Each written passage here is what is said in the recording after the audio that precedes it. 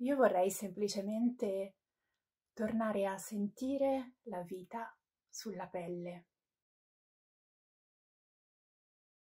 La canzone che mi viene in mente è Talking About a Revolution di Tracy Chapman.